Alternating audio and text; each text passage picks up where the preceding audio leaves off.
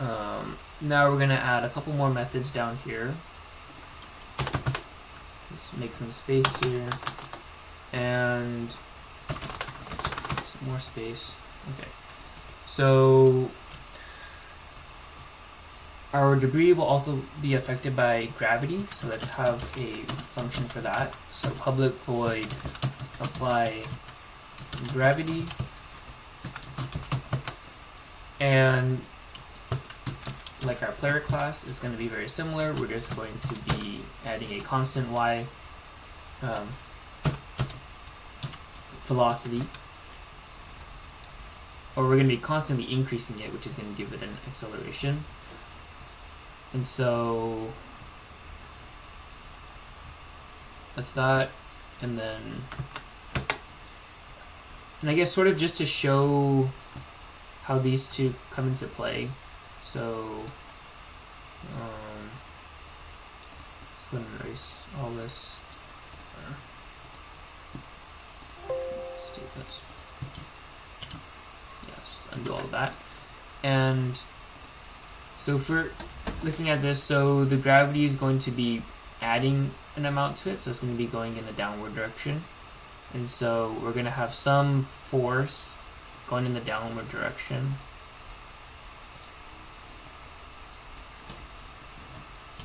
Uh, right, in the downward direction. And we're also going to have some direction going in this this direction, and we're also going to have something going in this direction. So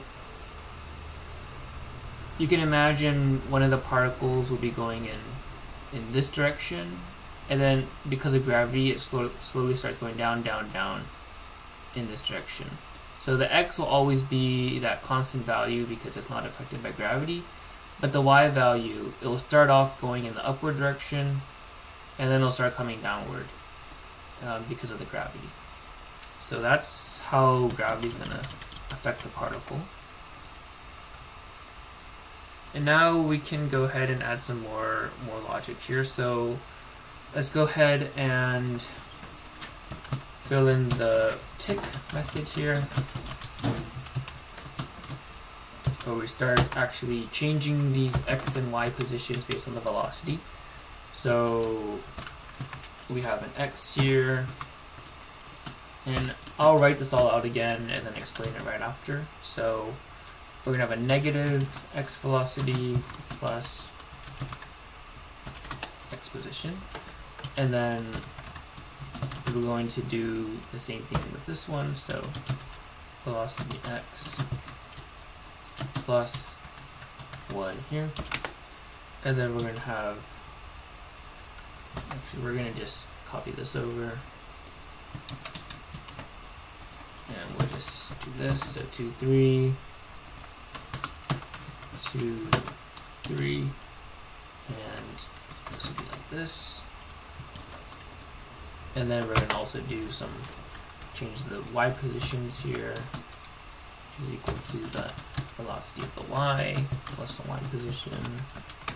And then we're going to do the y1, which is going to be the velocity of y plus y1 minus 2 and copy this over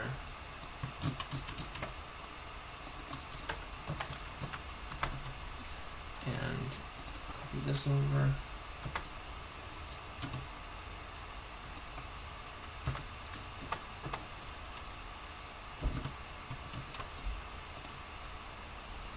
and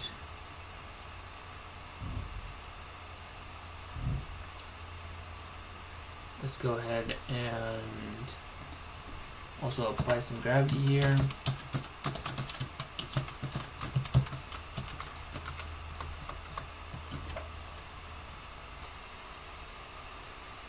Okay, so now let me go ahead and explain what's going on here. So like I said, we're setting the x and the y positions of our debris objects. Um, and so let me go ahead and pull up paint again.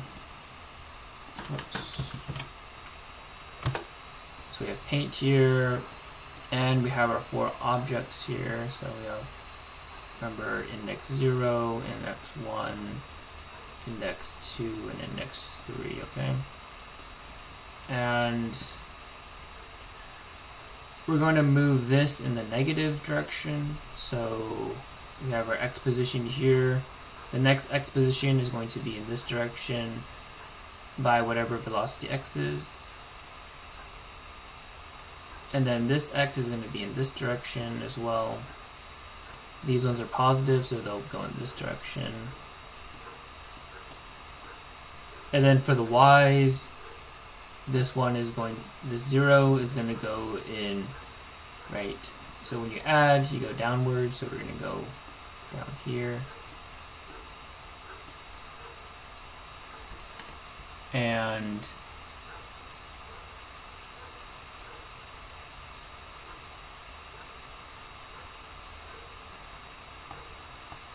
sorry, this is a negative velocity, so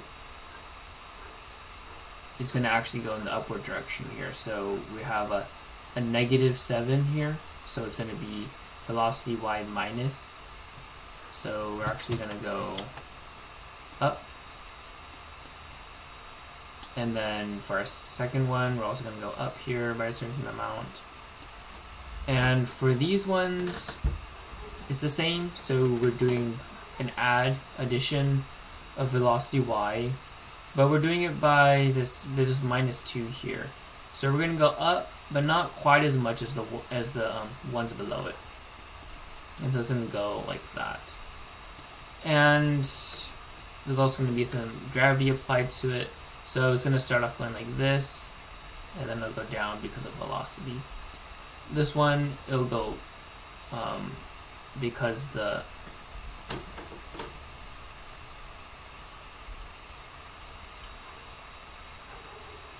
actually this would be the opposite again. So I'm, I'm, confusing myself here. So this one will be actually the bigger one here. Um, because remember this is negative 7 minus 2 so that's negative 9 and negative goes in the upward direction. So this would be negative 9 and this one will be negative 7 so negative 9 is going to be bigger than negative 7 and so this one up here is going to go higher, this one's going to be lower, this one's going to be higher. So this one's going to go like that, and then this one's just going to go a little bit up, and it's going to go down. And same here, this one's going to way up, and then down, and this one's just going to go a little bit, and it's going to go all the way down. And the reason why I have this negative 2 here is is just because I think it looks better um, when they don't go at the same speed. You can play around with this value and use whatever works for you. So now we're going to go ahead and create a couple more methods here. So let's do public boolean should remove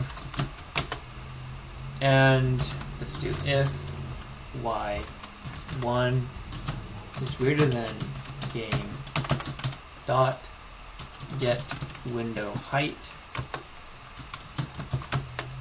then we're going to return true. Otherwise, we return false. And here, what's happening here is we have a function here to determine when we're going to de-render or remove the debris particles and y1 if you remember that's the one up here so it doesn't matter if you use y1 or y3, but whenever one of these um, particles, higher particles, is is greater than the the height of the window. So whenever it goes off screen down here, then we're going to go ahead and return true. So then we should remove everything. The reason why we use the particles up here instead of the ones down here is because well, you can imagine if this one reaches the bottom, this one will still be up here, and you don't want to remove it yet. Um, it'll, look weird if this just disappeared. So we want to wait until this last one here gets off the screen.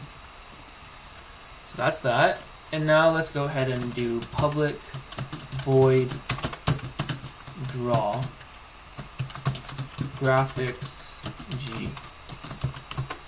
And in here, let's do for int i equals 0, i is less than 4, i plus plus, and g draw. Um, okay, I didn't want that. So draw image, and let's go ahead and do debris i. So remember debris got set up here from this, so it's our texture that we're loading in here. And which texture we want is based on this i. And in here, let's do xi, yi, width, height, and null. Yeah. Okay. So we're just passing in the textures and, and our dimensions. And let's go ahead and import this. Okay. Oh, um, this should be tick, not ticket. There's a typo there. And yeah, that looks good. Okay, so now we're gonna go to our block class. And we're gonna make a couple changes here. So we're gonna go ahead and add two instance variables up here. So private boolean hit and private debris debris.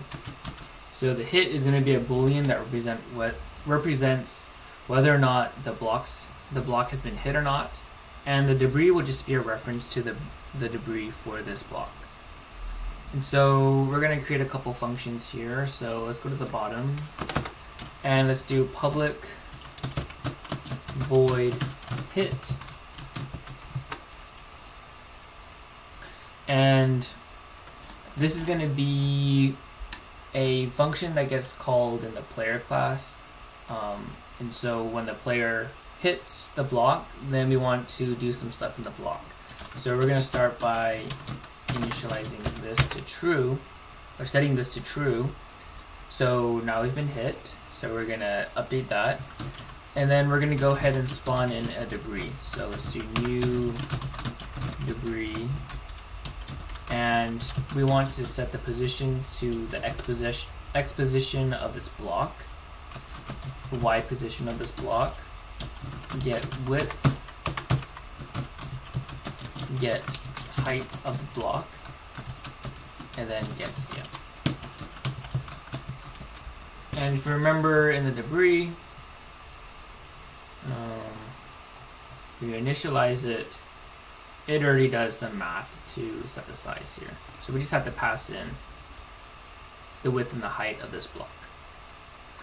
Okay, so now that we have that, we want to go ahead go ahead and call the the breeze tick method in here.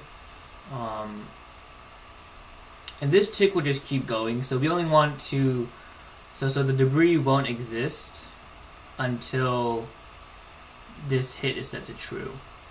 Um, or when, when this hit gets called and then this hit gets set to true, um, then the debris will get created.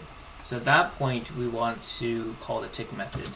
So if we've if the block's been hit, then we're going to go ahead and call the tick method for this debris. I don't know why I keep saying ticket. And if we don't have this if statement, then we're just going to have this debris that's not initialized to anything, and then if you try to call tick on that, then it's going to error out. So be sure you have, be sure to add this check right here. And we also want to update the render method here. So we want to call the render method for the debris when you've been hit. So um, just do, so if we haven't been hit, Then we can just we'll render the, the block as is.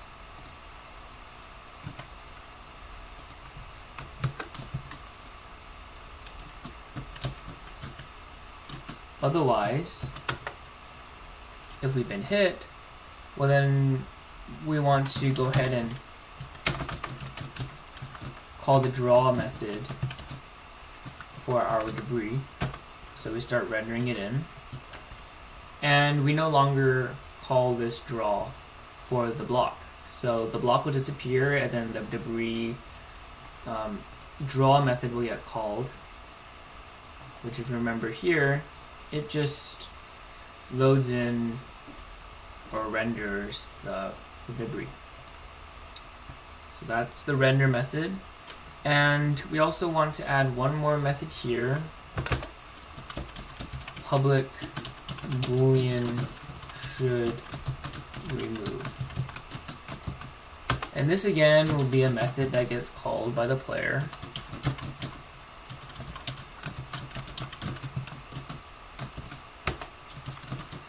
And this is just a way of accessing um, whether or not we should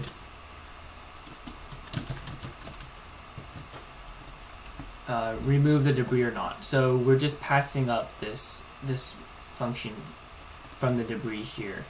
Um, the only way to access the debris is through this block class, so that's why we have to do this, and we can't call the debris directly from the player class.